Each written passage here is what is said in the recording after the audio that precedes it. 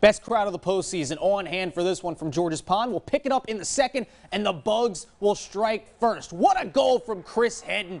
His first of the postseason gives Shreveport a 1 to nothing lead. But Wichita Falls looking to answer. 71% of the earth is covered in water. The other 29 covered by Cole Hudson. Austin Brimmer looking to extend the lead, but you can't do that. That's cheating. That leads to a penalty shot. But on the penalty shot, Brimmer can't fool the goaltender.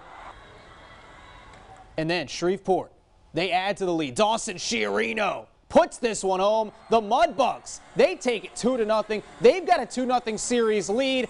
Claws up, everybody.